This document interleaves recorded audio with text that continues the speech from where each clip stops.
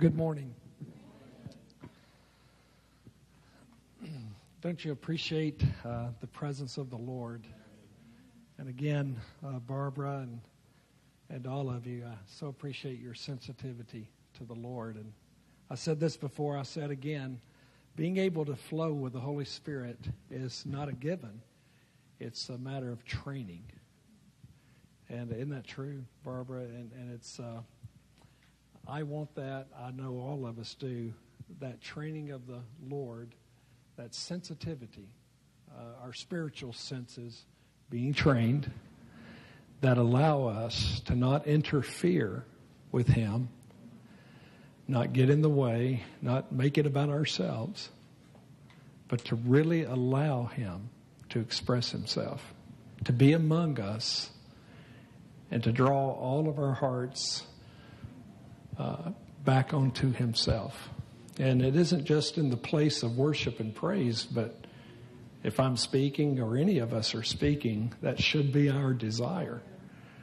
Um, sermons are not meant to lift up anyone other than the Lord Jesus Christ. And I hate even saying it that way, sermons. That's kind of a nasty word in my, just being honest. Uh, but if we're going to share the Lord, shouldn't it be about the Lord? Just stating the obvious, isn't it? So, so anyway, we uh, uh, started down a path um, Saturday morning, and we'll continue on this path where we are looking uh, at what I've entitled uh, the discerning of our times or discerning of the times. And um, I do believe it's important to ask the Lord, not, not just in a general sense, what time are we in, but in a specific sense of the time that we're in, Lord, what are you doing? What are you doing? And, and uh, that, I don't believe, is meant to be a secret or a mystery. It's meant to uh, be very clearly made known by the Lord to each of our, our hearts. And if we ask the Lord, He is gracious to speak, to reveal Himself to us. You believe that? To each of us. I, I believe that God does not show favoritism in any measure. It's not in His nature. Think about that for a second. God, the scriptures 13 times testify this in the New Testament. God using this language, if you want to count them, where He teaches us this. He does not show favoritism. So, therefore, um, we have to get beyond this dynamic of believing, well, God only speaks to this one, or God only wants to do this through this one. That's not true. It's never been true. We think it is, but it isn't. And uh, we have to see that as vessels, and then, as members of the body, each of us are meant to be filled with Him and for Him to express Himself through each of us. You believe that?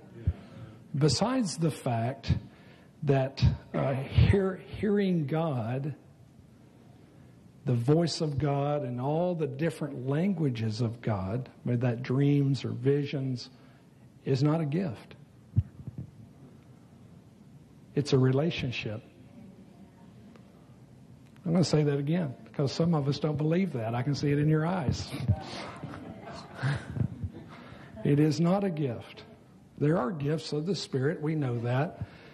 But hearing the Lord, God speaking to us in all the various ways that He does, is not one of those gifts.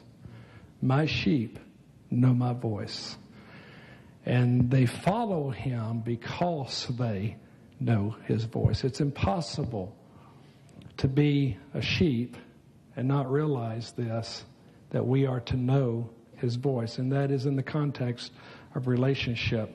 It would be like being married and telling your wife who wants to speak to you, husband, well, I don't have that gift. Just, just watch what happens when her hand comes upside your face. as to what she believes about that statement. It's true. I don't have that gift. You better start getting it really quick.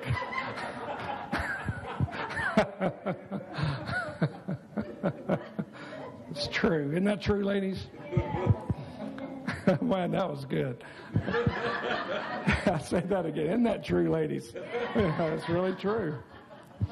And but we do that to the Lord. We make excuses and well, I could never hear the Lord that way. I like to debunk all those lies that has been propagated both by Satan and through the body of Christ. Particularly the prophetic. And it is a lie. And I don't mind telling you it's a lie. Relationship is where we have that place of communion with Him. And you cannot commune with God and Him not talk to you. It's an impossibility. He is going to talk, and He does that in various types of ways. I call them love languages, and each of us have a specific, at least one specific love language from, the, from God. And here's the key is learn the language. You know what I'm saying? If you're going to learn a foreign language, it's going to take a little while to learn that language. And in learning the love language of God, and I actually believe we have several languages that the Lord wants to teach us, He'll begin with one and move to another one. It's just His progression.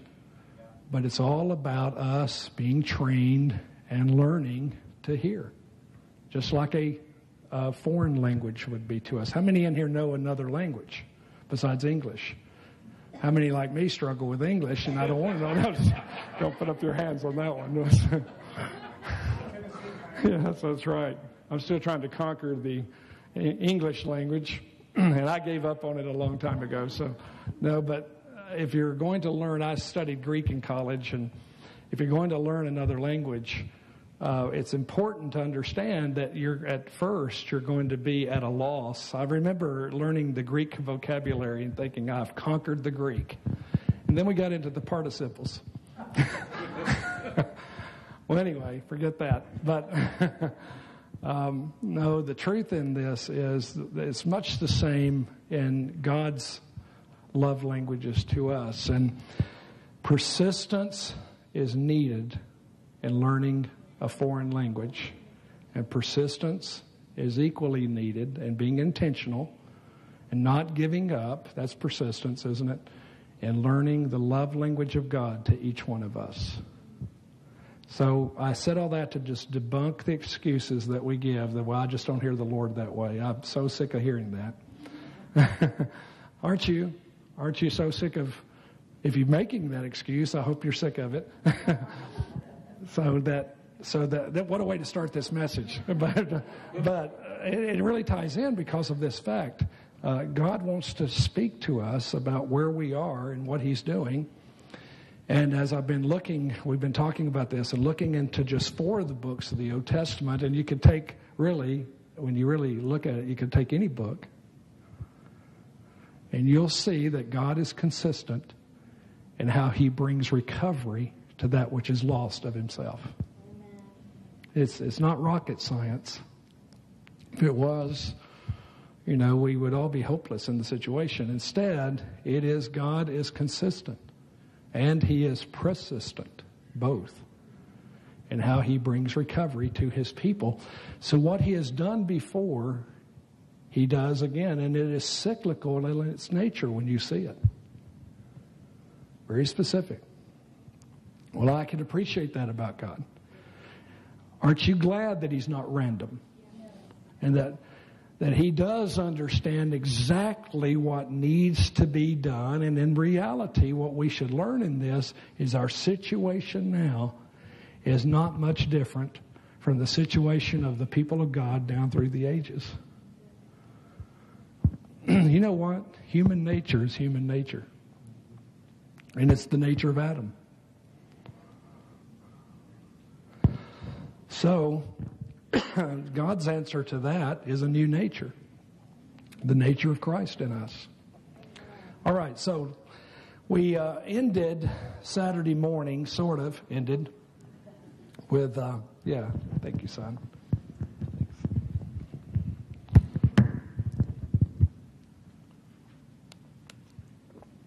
we ended Saturday morning with talking about this is the day for travail. and um, we I gave you some scriptures, Daniel chapter 9, verses 1 through 20, 23, and Daniel chapter 10, verse 12. I uh, gave you Esther chapter 4, verses 15 through 17, and then Ezra chapter 9, verses really 2 through 5, and then chapter 10, verse 1. I'm running through these quickly. Am I going too fast? Some of you weren't here, but. Um, and then Nehemiah chapter 1, verses 3 through 4. And all of these books uh, representing a specific movement of God, which I stated this and uh, kind of in a, a general overall way, um, that Daniel then represents God's call to the place of what we will call prayer. Communion would be a better word. I, I, think prayer has come to mean something that God never intended for it to mean. Prayers come to mean something we do rather than a relationship that we are in. Communion is a better word. Wouldn't you agree, guys? Communion expresses this common union. That's where the word comes from. There's this common union. That's the fact of Christ in the believer. Christ isn't in Adam, but he's in the believer. Adam never had what you now have. Adam never had Jesus living in him. He never ate of the tree of life. Just want you to know that.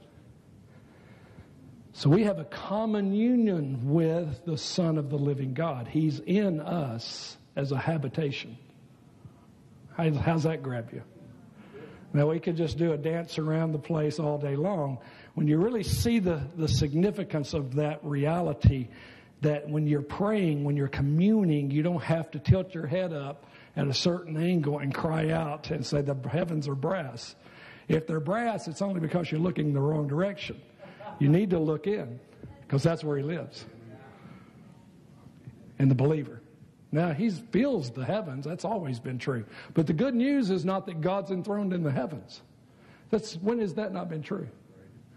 The good news is Christ in you, the hope of glory. See the good news?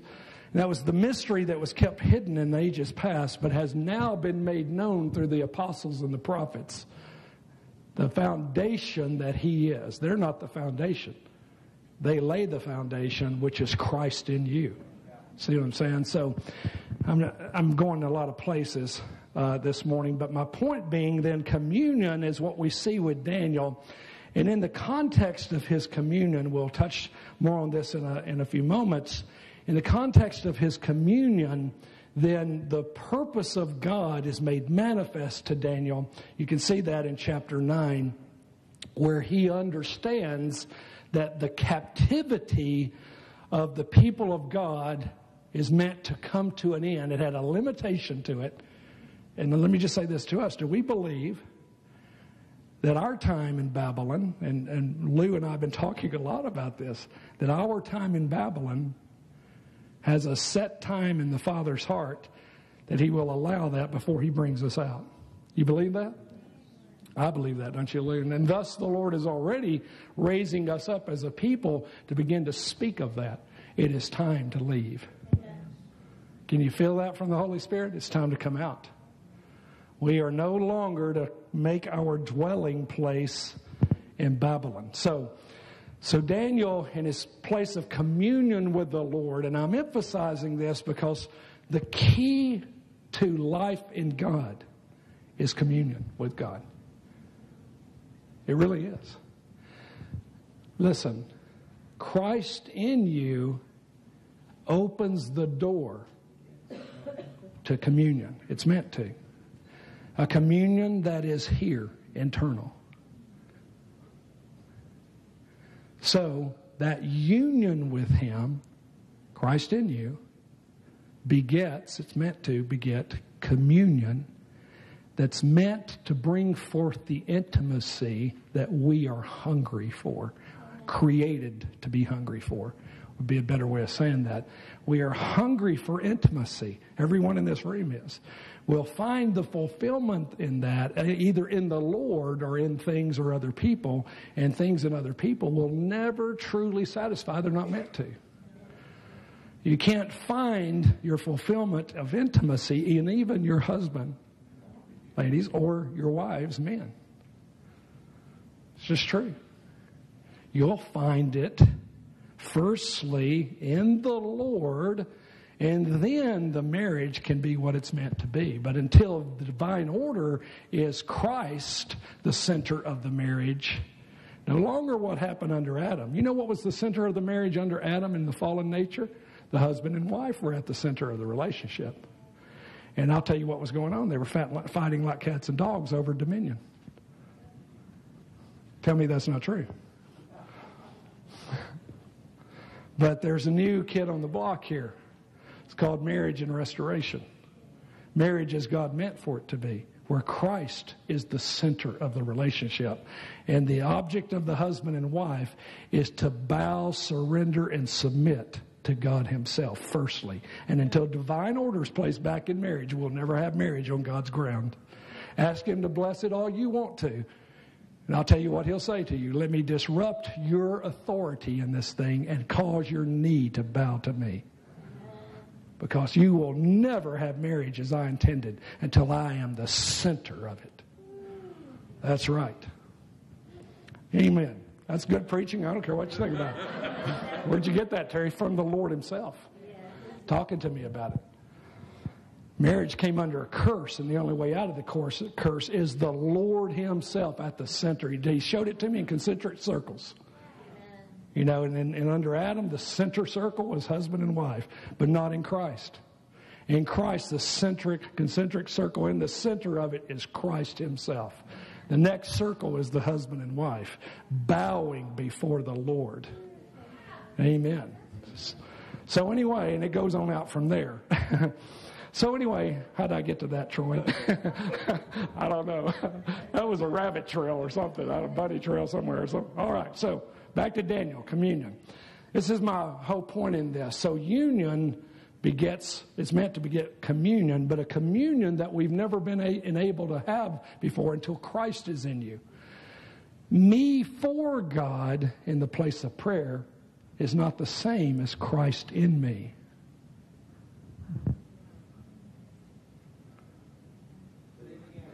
Me for God in the place of prayer is not the same as the communion of Christ in me.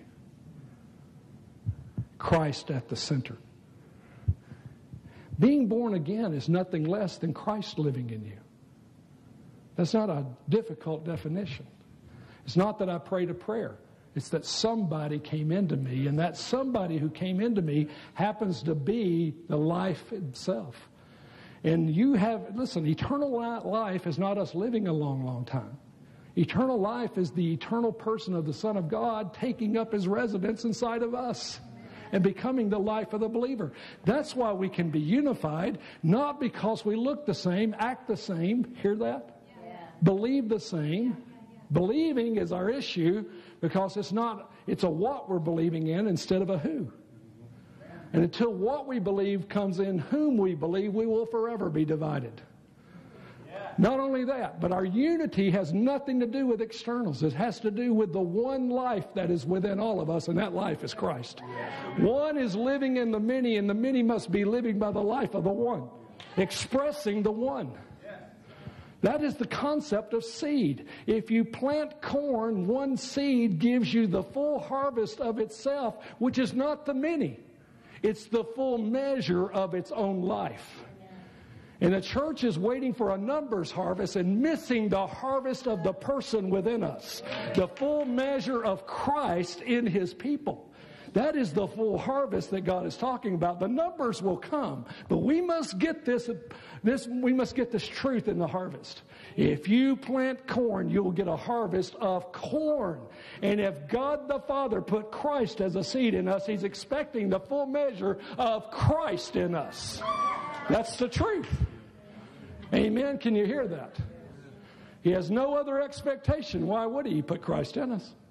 We are the soil that God has planted his seed in. You came right from it. Your body did. How's that grab you? so that's the whole gospel that was preached to Abraham was the gospel of the seed. And he understood it. I, I think we've lost the whole concept of farming in our nation has decreased to what, less than 10% now, so we don't understand the seed concept. So Christ in us is God's very life, the seed of his very life, his son, planted in us with the full expectation of the Father that he, the Father, because he's the farmer, it's what Jesus said about God the Father. Here's what he said, my Father is a farmer. You read it in the book of Matthew. My father is a farmer. You know this, brothers and sisters, I just want to add this. We think that, you know, give it to me now, God. That's the way we think now. When you're, you and I are never going to see the type of growth we want in the Lord without understanding the principle of a seed that grows. We despise the day of small beginnings called a seed. We despise it because we're a fast food society that wants it all right now in three minutes, or I'm honking the horn and screaming out the window, give me my food. It's just true. Is that not true? Tell me that's not true. We have no concept of when God is moving inward, inwardly within us and when He's answering our prayer, Lord, I want more of the increase of you, and that demands a decrease of us. And that's the seed concept when you see it.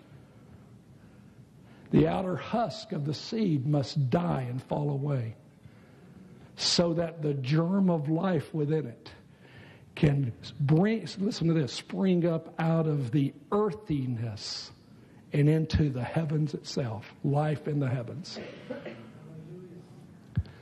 That's not my message, but anyway, so, okay, all right, back to where, let's reel this in for a second. Communion is that way as well. And anything you're asking God for, by the way, Anything, let's say it this way, here's a better way of saying it. Anything that He initiates for you to ask Him for.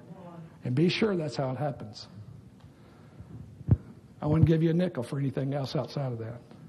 I don't want to ask God for anything that He doesn't initiate the asking. To do so is foolishness. Why, Terry? Because if He gives it to you, it'll destroy you.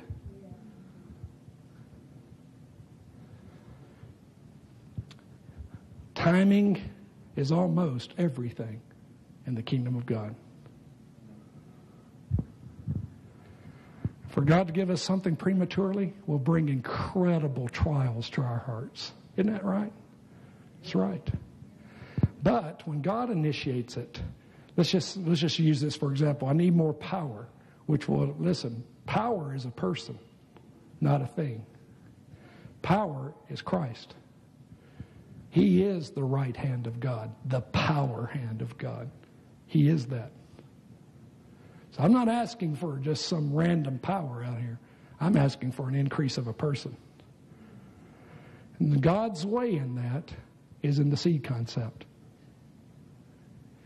Do you believe that the Lord would resist the very prayer that He's bringing up out of us? But because it doesn't happen immediately, we think it's not going to when in reality, God has initiated in seed form the answer to our prayer with the full intent of its growth process and its years in the growing. You think that the Son of God can pray for you and nothing happen? but it happens in growth, isn't that right, Gene? It happens through the process. All right, so Daniel understands. I just want to say this to you. And they, that culture understood things way better than we do in this day because of, of it being that type of agriculture was a main part of their society. So they understood the seed concept. They understood that, okay, my job in this is, so to speak, using that type of language, is I'm to come into the place of communion. God is drawing me by His own burden into the place of communion with Him over what is in His heart. And I cannot go into that place with my own concepts and ideas lest I try to enforce, and you can't anyway, but I think I can, enforce onto God my own will and what I think is best. And that, if I can just make a distinction, and don't stone me for what I'm about to say, or maybe you can because I'm ready to go. That is where most of the intercession in the Western culture has come to, where we're trying to force God to do what we think is best rather than, look at that, letting the Holy Spirit, well, I just hold it like this, letting the Holy Spirit, I can still, listen, I can still preach and hold this. Doesn't matter. I hope that I hope this thing wasn't important to anybody. hope you didn't have your heart set on it. anyway, no, intercession is not us asking God for what we think He needs to do. That is not intercession. Intercession is an alignment issue, if it's anything.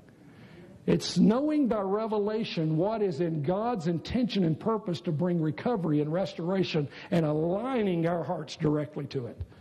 He is the initiator in it. He must be.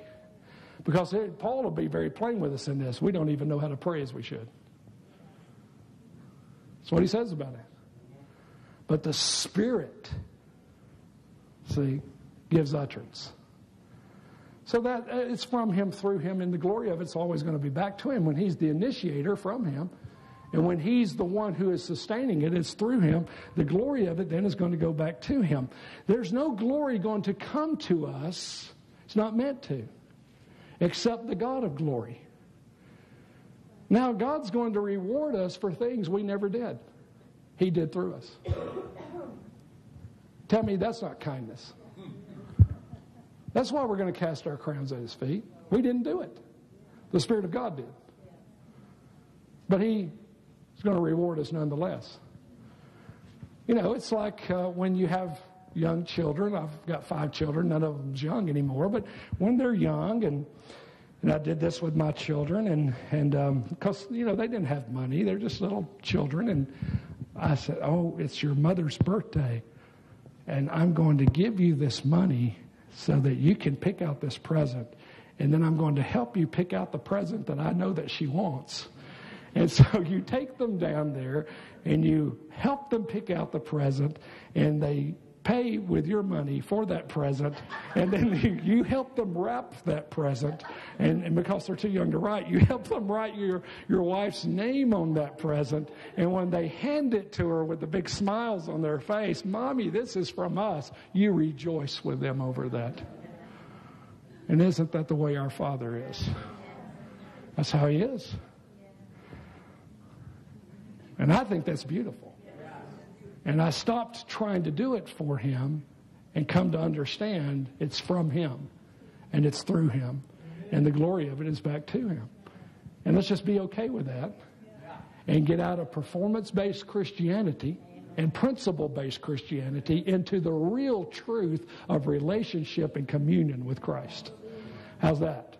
Amen. So, anyway, I got all that out of the book of Daniel. But there's a whole lot more in the book of Daniel than just that. The real issue then becomes with Daniel that uh, he understands the very thing, singular, that God's burden is calling him unto. That's important for us because if if in seeing the full process, we want to jump in where we think we need to jump in without understanding God's burden in it, we will get ourselves in trouble and there will be fruitlessness that comes out of it. Amen? So, Daniel then represents this place of communion. Now, there's uh, three other things, and I brought one of them out, but three other things I want us to see. We won't have time to go into all of this. But Daniel and Daniel's pathway, the revelation that come to him, comes to him about God, you can see it in the book of Daniel, uh, beginning with chapter 2, is God is the revealer of mysteries. Isn't that true? Remember, and it's a life and death situation for him, when uh, uh, Nebuchadnezzar doesn't not only want the interpretation of the dream, he wants the dream itself told to him, back to him. That's his test for the so called uh, wise men of his day. And of course, the ones who don't know the Lord, they're coming out of demonic power. So, well, that, that can't even be done. That's not even possible. No one can tell you your dream. Tell us your dream and we will interpret it.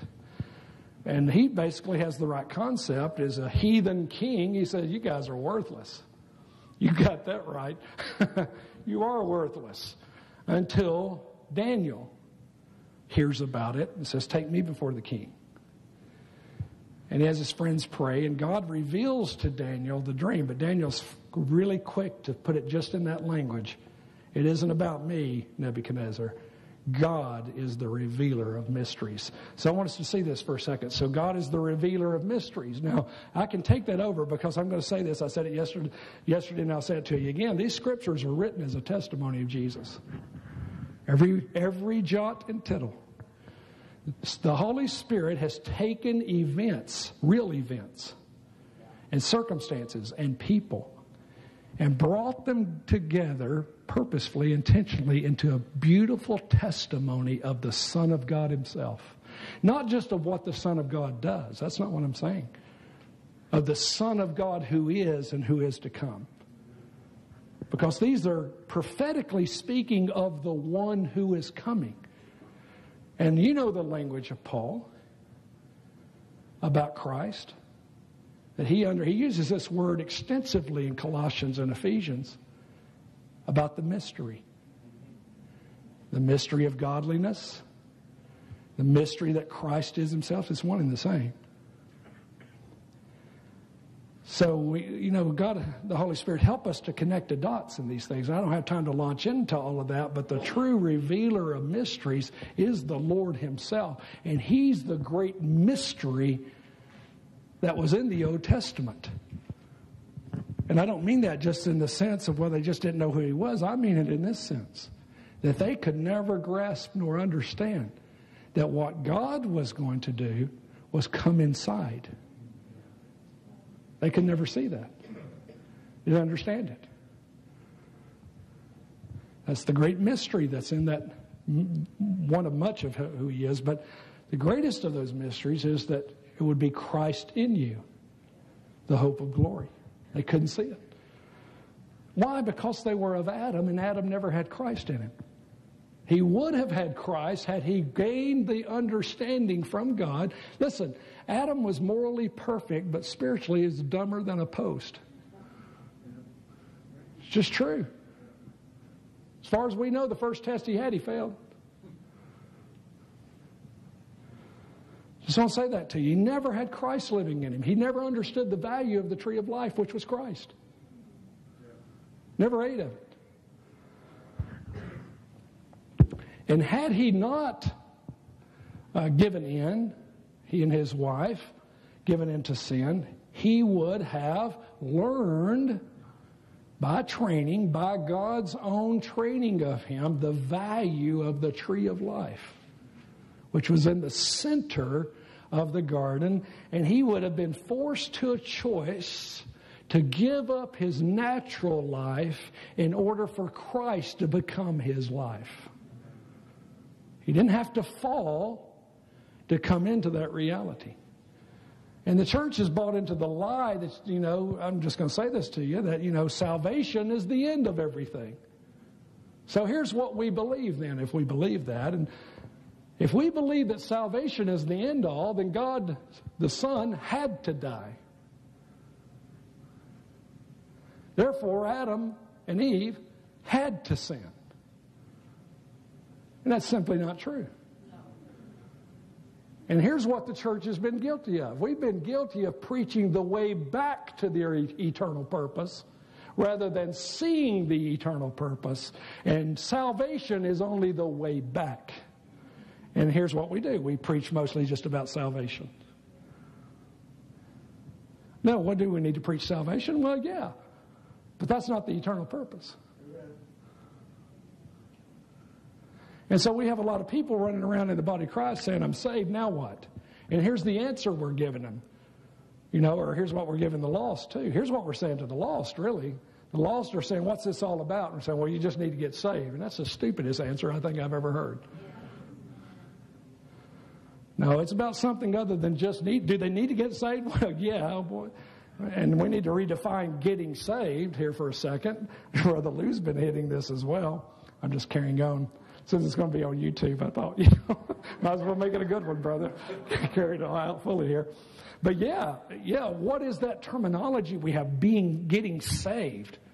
Why not? Why can't we bring this thing into true biblical meaning, into a relationship of union and communion and intimacy with God that is ongoing, ongoing, progressing, like seed to fullness, seed to fullness?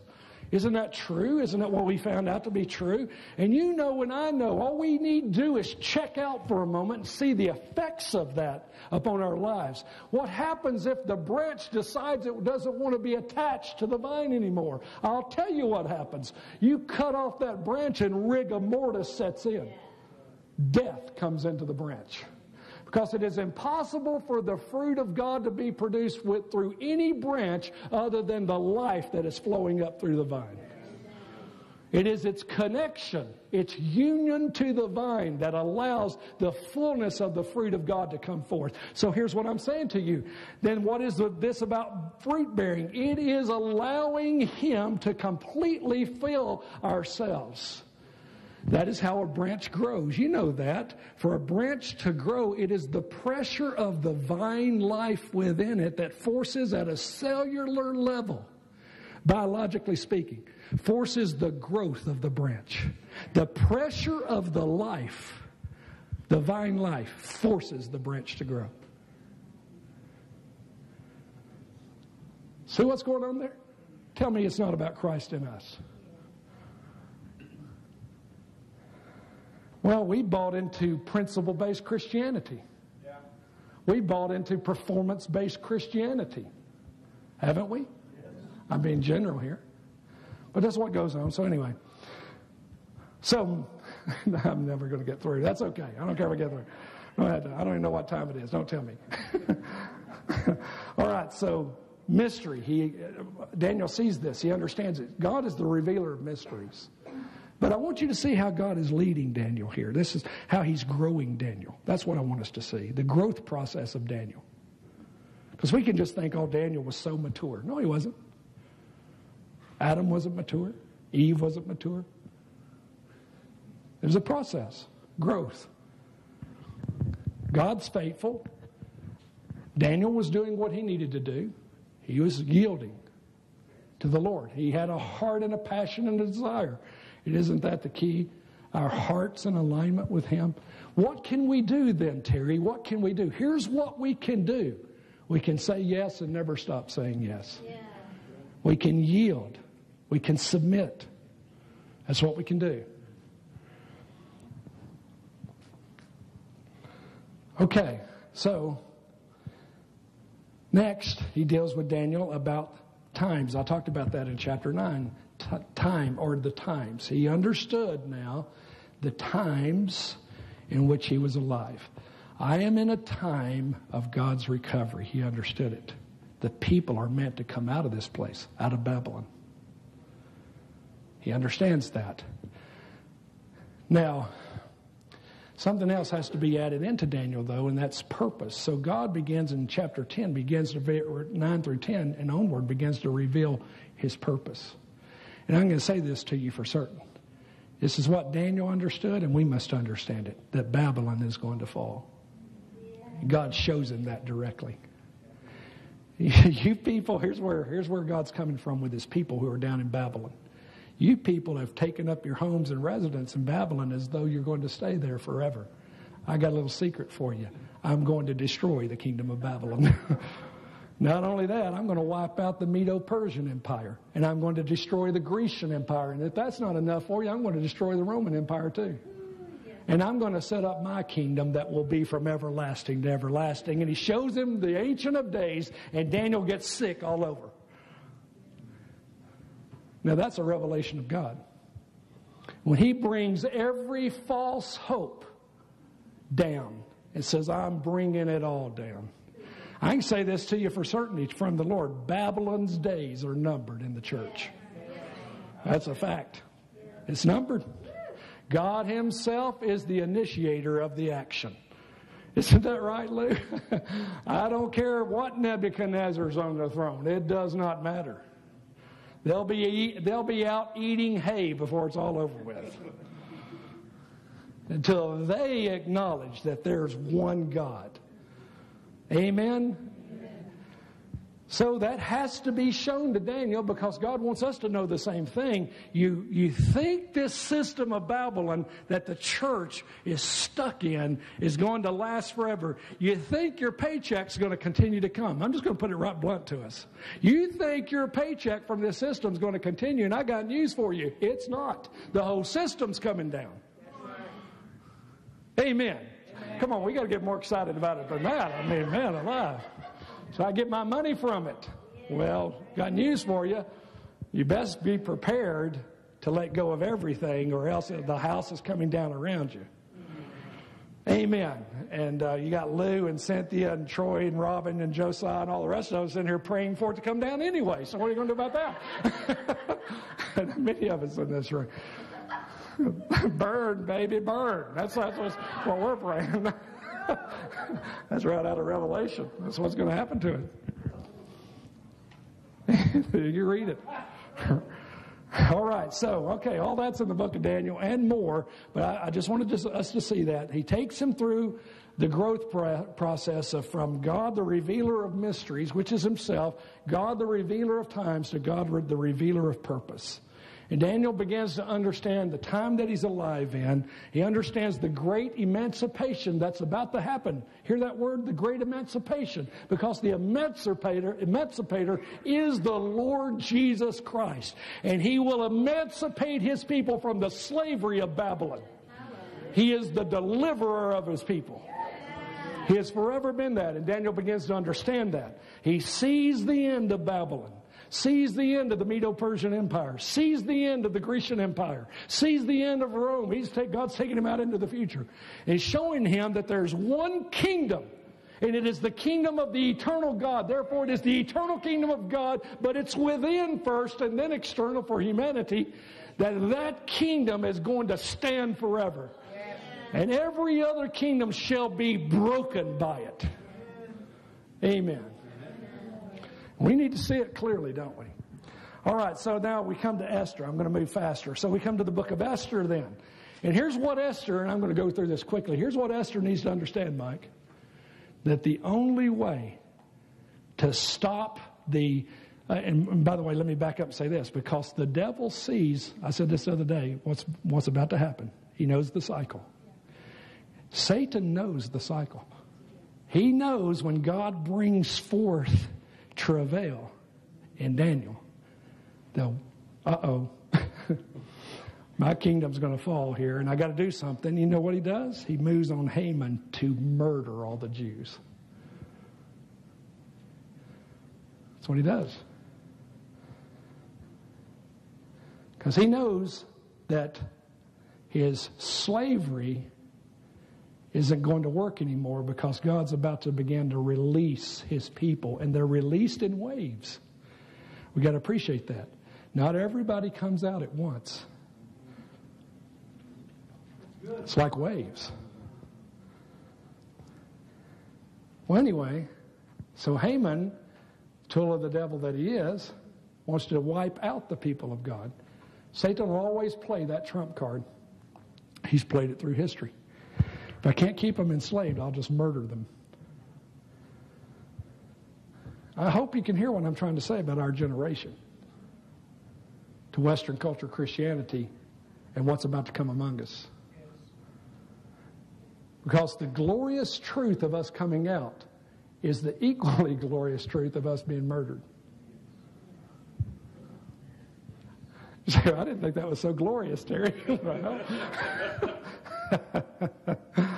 it's he who the Son makes free, not sets free. It's, that's free indeed. Set free is letting a buzzard out of the cage and it remains a buzzard. Made free, made free is letting what was formerly a buzzard out of the cage and it's a beautiful dove. That's transformation. We got to get the scripture right here. It's about being made free from within. Set free is me free to just live my own life. Made free is the life of another living through me. Amen. Can you hear that? That's Christ in you. The whole new creation has arisen. Christ in you. All right, so here's what Esther comes to find out. It's what we must hear. Here's what I want to say about the book of Esther. Here's what come, becomes clear in the book of Esther. The only way for the deliverance of God, God's people from this murdering spirit is to go to the king. The king alone can be their deliverance. You see that? There's no other way in this. There's no other hope. He is forever. All our deliverances come from the Lord. So, and we know this about him, it is his great love for us then that gives us the victory. And God turns the plan back onto Satan, back onto Haman, and destroys his house instead. He causes his people because they come to him. He says this. Here's what the king says. Here's what I want you guys to do. This is going to happen. Uh, hear me for a second. This is the book of Esther. I can't change what's about to happen. This murdering spirit's going to be released. Here's what I can do I can equip you to stand up and fight. That's exactly what he does. And how many know the story and they take it to him? Because when God is with you, who can stand against you? Well, there's the testimony of Jesus in the book of Esther. The king who decrees victory for us. He is our victory. Amen. From Alpha to Omega, He is the hope of His people. All right, that, that's short, but let's move to Ezra now. Okay, so Ezra, then we see this issue of mixture in his people, but I want us to see something else before we see that. The book of Ezra begins not really with Ezra, it begins with Zerubbabel who is the governor over the province. And it begins with him returning and a group of people with him in a wave and the high priest returning. There's two things we need to see in that. First and foremost is one of the first thing God does back in the land is send his government back among his people. Can you see that? It's always it's a governmental issue that took them down to Babylon. That they would not allow God to be their government gets them taken back down to Babylon. So, in the restoration that God then brings, He brings back His government to His people. Zerubbabel represents that. How do you know that, Terry? Because of Zechariah chapter 4. The word of the Lord to Zerubbabel is not by might nor by power, but by my spirit, says the Lord.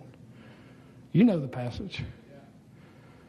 And that is the word of the Lord to us in this hour. The government of God is not by might nor by power, it is by my spirit. The opposite of Babylon is the Spirit of God ruling and reigning governmentally within and among us, His people. Isn't that true? It is the Spirit of God having His full, free way. Amen? Is not man, and I don't mean that as a gender, I simply mean that as a race. It is not man having his way in God's house. It is not my ministry. It is not any of that nonsense. It's not my church. It isn't your church. The people are the Lord's. I've pastored six churches. They were never my people. They're the Lord's people. We best understand that. Don't make God prove his point. Because he's able to do it, isn't he? If they're your people, then why are they fleeing? If they're your people, why are they scattering? Well, anyway, that's going to mean a whole lot more to us in the days ahead. Because this concept of my people, are they're going to return to the Lord. And what we're going to do is what we've always done is try to cling to that and blame the devil when it's the Lord doing it the entire time.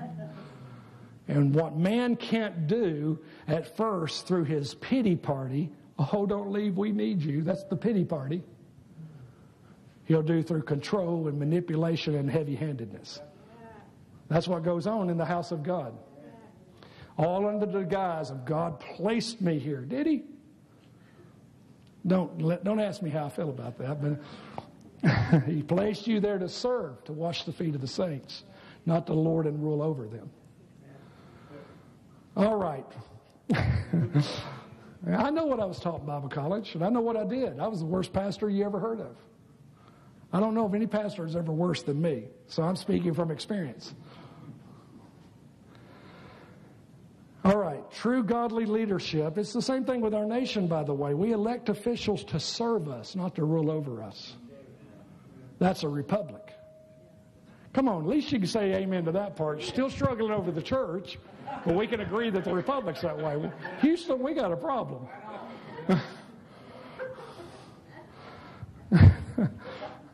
Well, what about Moses? Moses represented Jesus, you bunch of idiots. That's what we should say to people out there. That's what we should say. Put that on YouTube. I said that. That's right. I'll say it again. Moses does not represent you and I, he represents Christ. Anyway, so see what's going on here? The systems of Babylon have come so intermingled with the body of Christ, we can't even tell the difference anymore. I'll tell you how you recognize a leader who's serving the most. That's how you recognize them. That's what Paul wrote about it. We have become the greatest of servants. Tell me that's not in your scriptures or in mine. I can read it right in Corinthians. See what's going on here? See, you still glad you asked me to come? Or I don't even think you asked me. You just, I don't know. I don't know if you asked me or not. But I would say you asked for it Toyota. You got it. So, no. But that ain't true either. But see, see the disruption that is at hand? I'm just trying to help prepare us for the disruption that's at hand. Leadership doesn't need a title. Its actions speak louder than its words. Find that persons, those persons who are washing the feet of the saints with Christ, who are giving away an expression of Jesus. Find those that are there in the place of prayer, in the place of communion for His house and for the fullness of purpose, and there you'll find the true leadership of God. Yes. All right, where'd you learn that? Sitting at a round table meeting with some of the people who wrote your Bible. That's where I found it. That's where I heard it. That's where the rebuke came to me. I was pastoring when it happened. That's why it always happens with me. I learned my best lessons out behind the barn. it's true. The, the guys who wrote your Bible know what they're talking about including Moses. So, all right. Can't believe I said that, but that's going to go on YouTube. That's not the worst thing that's out there on YouTube. okay, so we see with Ezra then what we must understand. We must understand there that the king alone is the hope. Mordecai understood it, Ezra understood it. And we'll have to understand that. There's no gimmick that's going to work in this hour. You know that? There's nothing we can do. There's no political solution to this problem. There never was. There's only God's solution, and God is the solution. Amen. For his house, God is the solution. God would never, never give us another solution. He's the solution. So then finally, Nehemiah. So we see in Nehemiah then the establishing as I said the other day, of this wall. And I spoke a little bit about this. The wall says this concerning the city of God, because what's in view here is the city of God. The New Jerusalem is us. Just read uh, Hebrews 12 and it'll tell you that.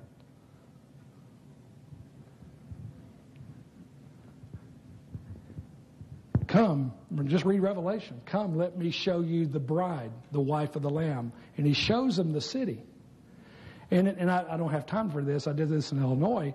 I said, Do You want to see what the bride is like? Let me show it to you. And I just read about the city and the city's transparency. And the light of the city was God itself.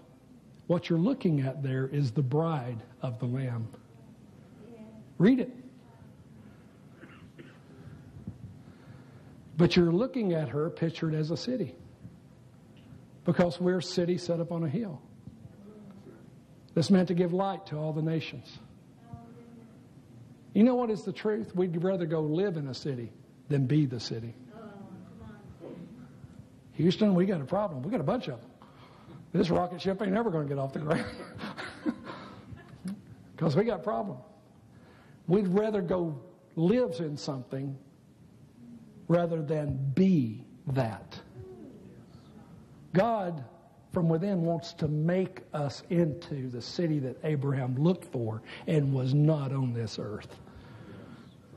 And Jerusalem was in existence at the time, naturally.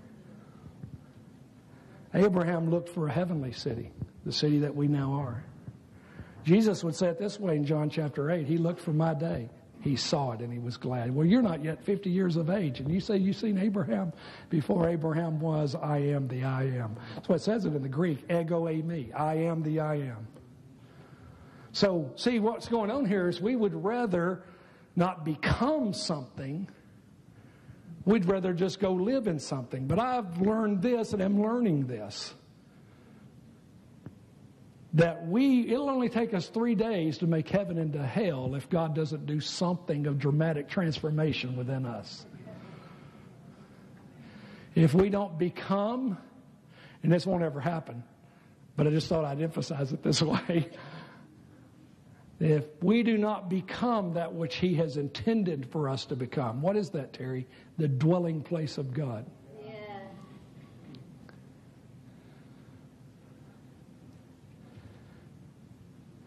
So our thoughts have been for too long. See, that's that natural thing that works in us that wants to see something external that we can just relax and go live in. But God made us as a creation to be his holy dwelling place. That's not said of the angels or any of the rest of the beings that are around the throne that don't have a name. Isn't that true, Cynthia? There are more than angels around the throne. We don't have a name for them.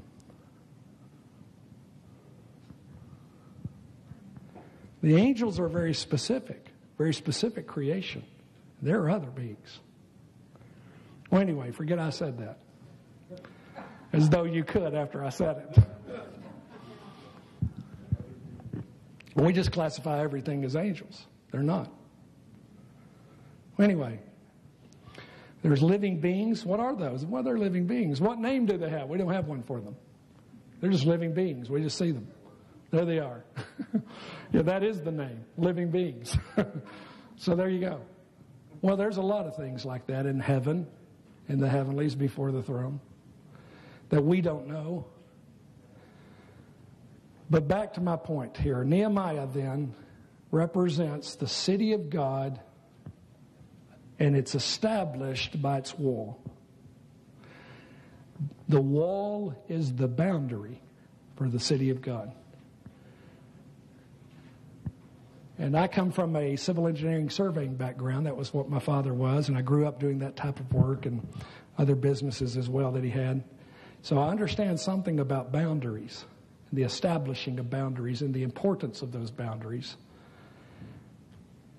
The wall is the boundary of God that says nothing from out without comes within this city. There's nothing of the former life in nature that has place in the heavenly. That which is from above. That's why Jesus said to his own disciples, He said, You're no longer from this earth, you are from above. He's not speaking of location. Heavenly is not a location.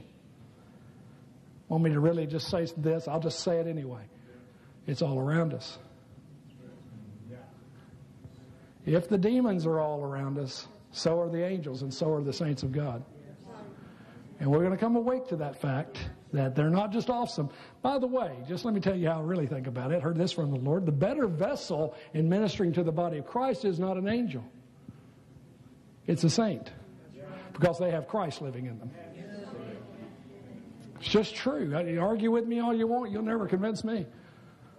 And does he use his angels? Well, of course he does, but there's a limitation on the angelic order. They can't impart Christ. They don't have him. Christ ain't living in them. He, they know him as creator. We know him as bridegroom. And there's no other creation in any of God's creation that knows him as bridegroom, knows him as the lamb. in that way, in an intimate sense. So, anyway, that, isn't that beautiful? You were created for that purpose. You were created, no other creation was created as we were created, to rule and reign with Him over His entire created universe.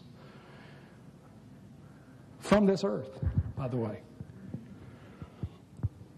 So, anyway, so how did I get all that out of Nehemiah? Because I, what I want to say to you, to you is God has going to has has uh, placed in the scriptures what He's going to do in His people, and that's that we're going to become the city of God. And you can see the foundations of the wall or what? There's the twelve apostles. That should alerted us right off the bat that if the foundation stones are the twelve apostles, then we're not looking at a natural city here.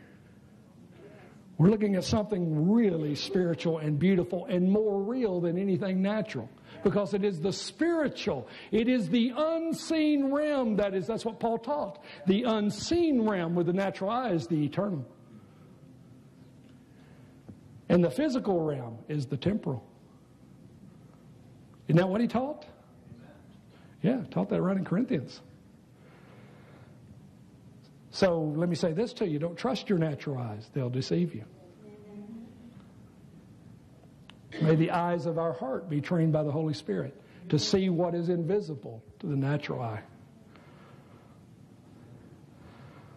Such as seeing in the Spirit. And uh, we don't get enough training on that, and that ain't the place for it this morning, but I just want to encourage you in that. God aims to open the eyes of our heart our spirit eyes. So, okay, so Nehemiah establishes this wall. Here's my point. And Nehemiah establishes the wall, and this is the last major work of God before the coming of Christ. Can you hear that? Before the coming of Christ, there is going to be a distinction again. That which is God's is not going to live in the corruption and the impurity of the old nature. That corruption's basis is it is broken in its relationship with God. That's true corruption and impurity, isn't it? All everything else just comes out of that. Instead, this wall says this city is unique. There's nothing else like it. It is heavenly. It is on the earth, and we are, unto, just hit, just hit Esther, for such a time as this. God chose when you would live on this earth. For such a time as this, you are here unto his purpose. With all that is about to happen, and it will be like the old Clint Eastwood movie the good, the bad, and the ugly.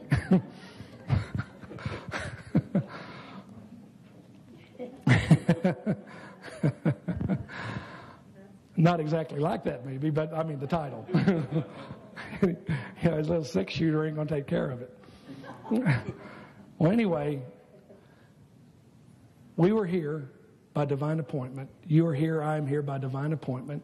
God knows that He can be in and through us exactly what is needed for this very hour.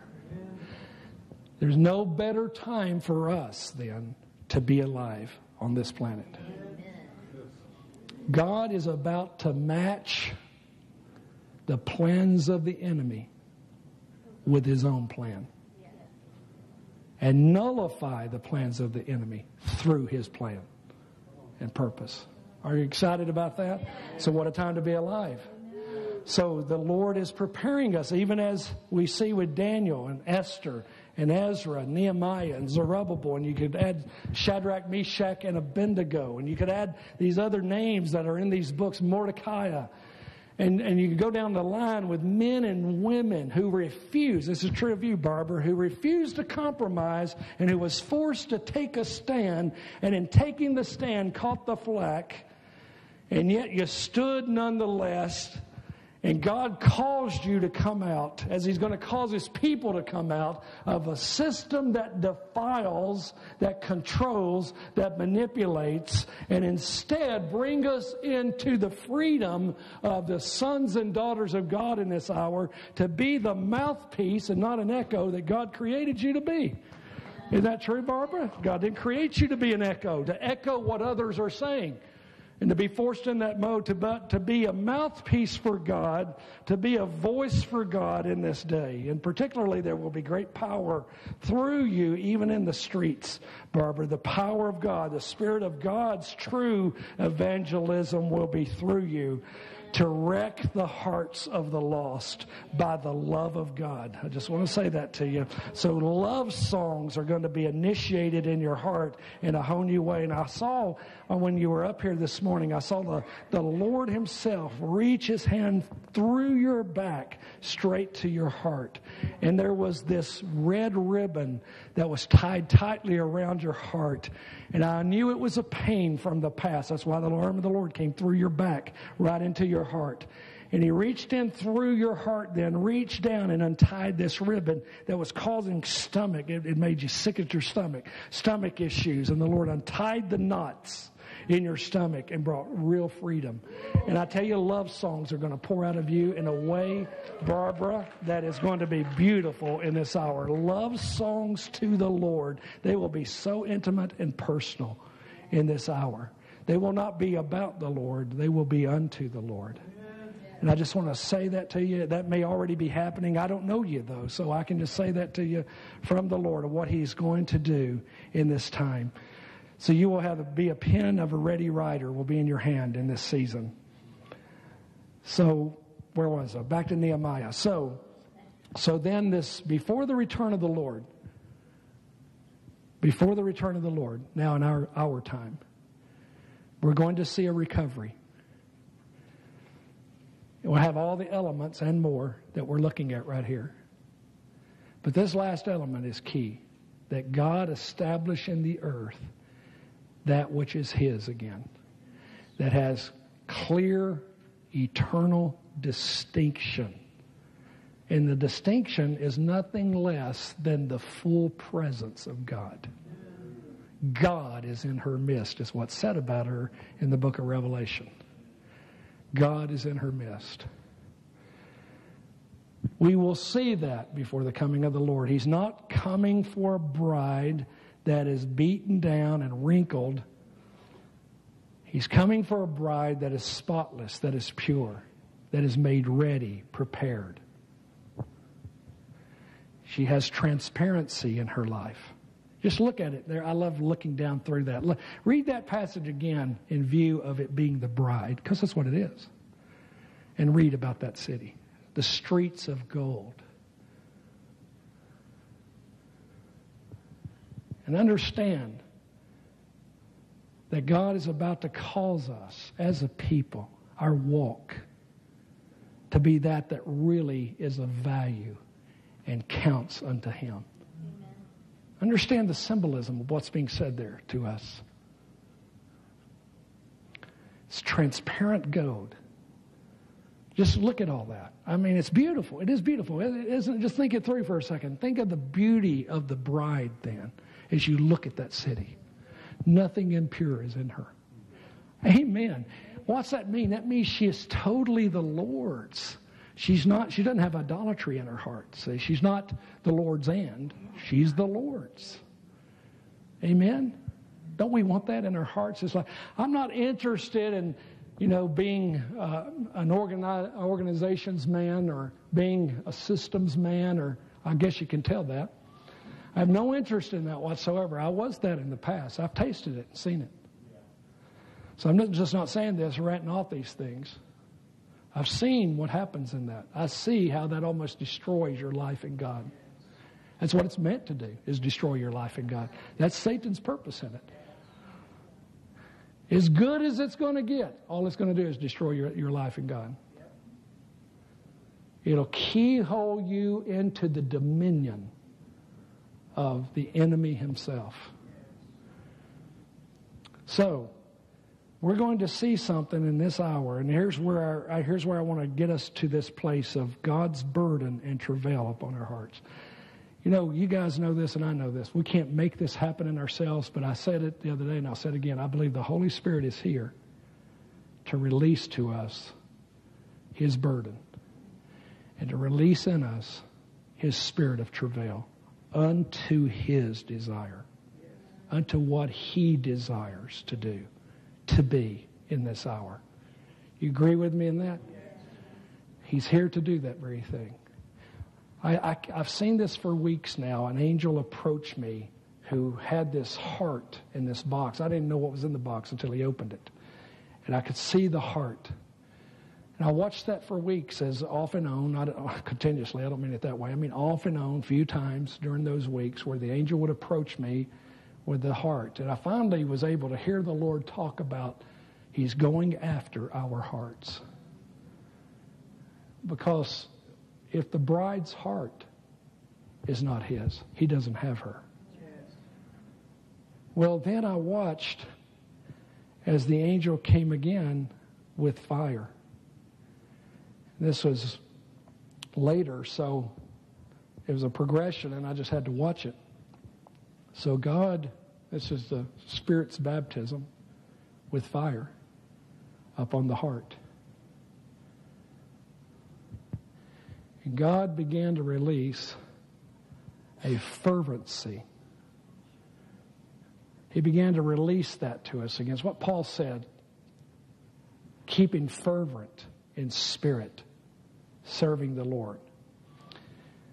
I'd like to replace that serving the, word, the Lord with really be being servants of the Lord. I think that's more in connotation of what he's trying to express there. But I know this, brothers and sisters relationship with God is meant to have a fieriness to it. Love is that way. Love is not about duty, is it? Love has a fervency to it in its genuine state. There's a passion involved in it. You can't keep me from him because I am his and he is mine.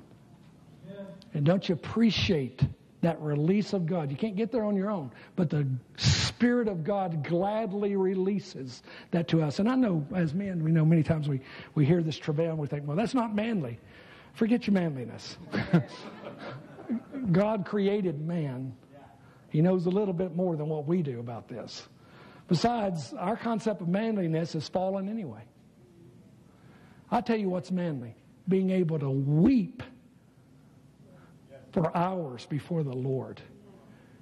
I'll just say this to you, folks. If I have not wept before the Lord, I begin to pray for the gift of tears. It is a precious release of God. Because God is near to those of a contrite heart and a broken spirit. He does not despise them.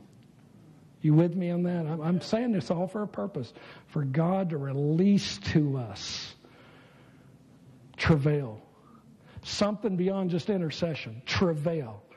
Seeing what he is after, knowing by revelation what is his purpose in this hour, in our time, for the burden of God, the tr- spirit of travail to be released to our hearts again.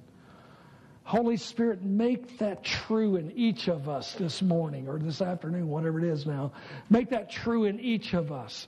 The spirit of travail from the Holy Spirit.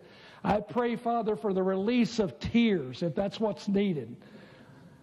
Lord, not that that's the perfect sign, but I pray for a place of brokenness before you. I pray, pray for a, a place before you, Lord, of tenderness, yieldedness, surrenderedness, Lord, to where my natural mind is disengaged long enough for the mind of Christ to be established. I ask for that, Lord. As men, as women, it doesn't matter, but Lord, teach us the preciousness of contrition and brokenness in your presence. Teach us, Lord, how to wait upon you. Teach us the beauty of waiting long enough in your presence for distractions to be broken. Teach us the value of stillness. Teach us the value of quietness. Teach us how to listen again, Lord. I pray. Train our soul. Let us be like what David said. I'm like a weaned child with its mother. I've stilled I have quieted my soul like a weaned child is with its mother. So is my soul before the Lord. Teach us the value of this. Train us, Holy Spirit, in communion again. Train us. Make a distinguishing reality in our hearts of the distinction between an intercession for things and a hunger for the Lord Himself. I ask for a hunger, a passion for the Son of God Himself in my heart, in our hearts together this morning, Lord. We want to know You. We want that intimacy with You that only truly forever satisfies our hearts, Lord. Call us to it. Yes, there's a cost. There is forever a cost. But Lord, nothing is so precious and so valuable as being in that place of communion with you 24 7, Lord. But let us appreciate, Lord, those times alone. Cultivate in us as a seed this morning the beauty, the value of intimacy, of communion. We ask, Holy Spirit.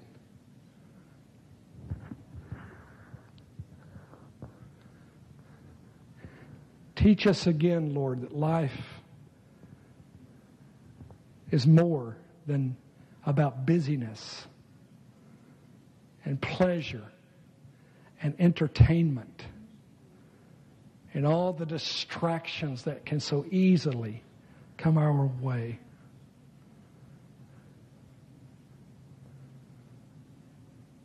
We ask, Holy Spirit, free of condemnation, but in passion and in hunger and in thirst, responding to you. Lord, make us hungry again. Make us thirsty again. We ask, Holy Spirit, we give you permission to interrupt our regularly scheduled programs. We give you permission to do that, Lord.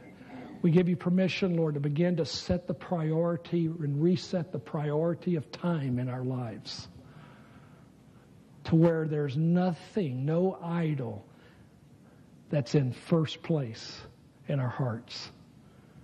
Pull down every idol that, Lord, idols always fight for first place attention. Pull them down. We give you permission to do that this morning. Pull down the idols, Lord. Break their power in us. Teach us again Lord, the beauty of communion. Teach us, Lord, that true ministry proceeds out of the hidden place. It is nothing less than an expression of yourself through a vessel.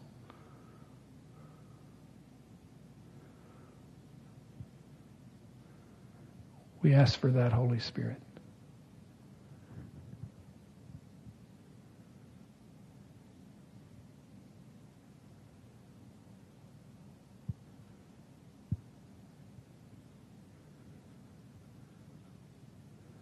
Thank you, Lord.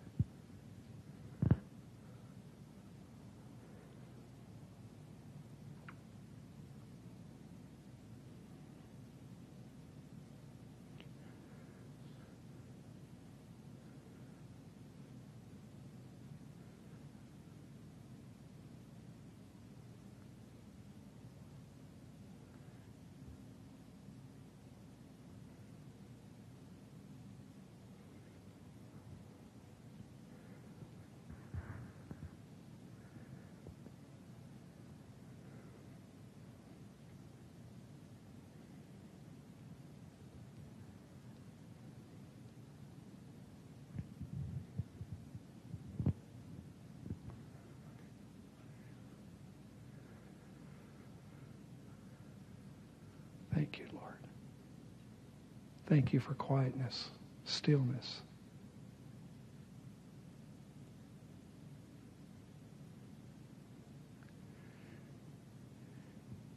Train us in the Spirit. Train our spiritual hearing and seeing, feeling, even tasting, smelling train our spiritual senses again.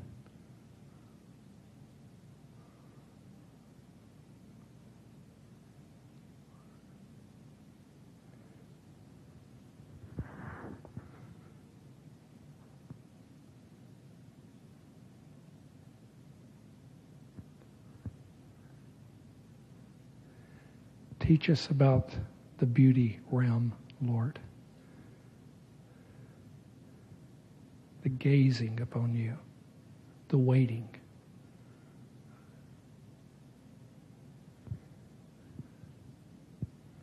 Help us, Lord, to lay down our agendas.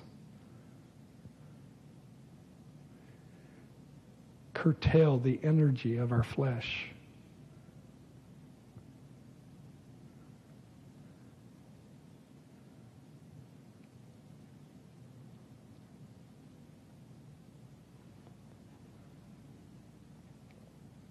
Lord Jesus. Just aware, now this was a part of my own heart's cry to the Lord. And coming was just aware that the Lord is here to open that fountain within us, within us. Of communion, perpetual communion is what he's really after. And if you feel in your own heart today, look, Lord, I, I want that fountain reopened with you, Lord. I want to drink deeply. Push my heart into the deep again. You feel that on your heart. If you want to stand up, you can. If that's you and you feel that pushing, that urging of the Lord, just stand up. And that, Lord, in our response to you right now, we ask for your grace. And we ask for, in your grace, that holy determination within our hearts. Set a plumb line in our hearts. We give you the permission to do it. Set a plumb line in our hearts today, Lord. Call us to the secret place, to the hidden place. Lord, it's not what we do in public that counts. It is in private. And we ask, Lord, call us to that secret place of the Most High, that internal place of communion.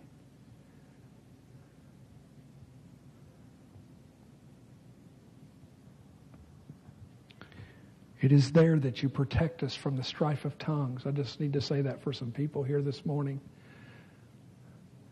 Felt that from the Lord.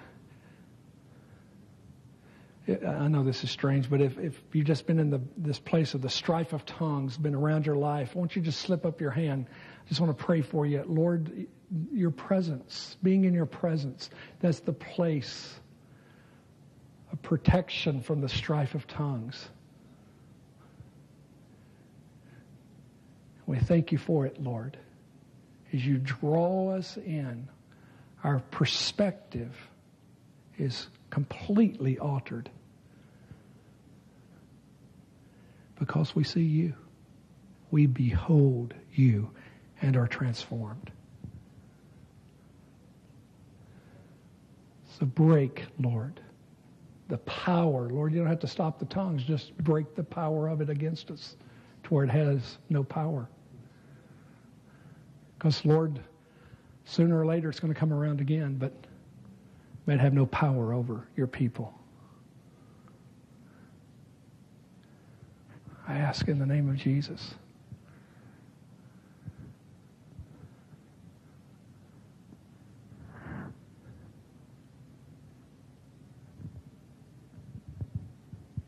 Thank you, Lord.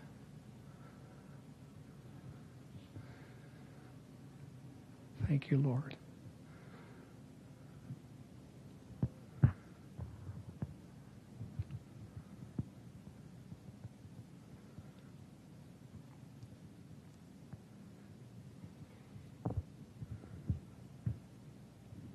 Thank you, Lord. I just have to say something to Dave.